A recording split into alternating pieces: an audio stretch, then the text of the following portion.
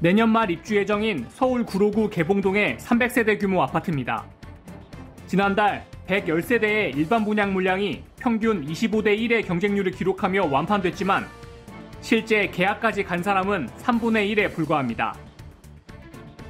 이 아파트는 전용 84제곱미터가 59가구, 59제곱미터가 11가구 등 72가구가 계약되지 않아 무순위 청약을 접수받습니다. 서울 중심부에 조금 더 가까운 동작구의 아파트도 마찬가지입니다. 전용 84제곱미터 분양가가 13억 원이 넘는 고분양가 논란에도 두 자릿수 경쟁률을 기록했지만 절반 정도가 미계약으로 알려져 이달 중 선착순 분양을 준비 중입니다.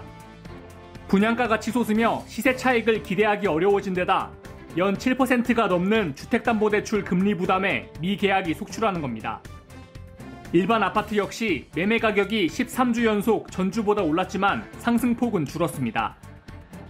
핵심 입지인지 분양가가 주변 시세에 비해서 얼마나 저렴한지 미래 가치가 높은지 여부에 따라서 막상 청약은 했지만 계약은 미루는 것으로 보입니다.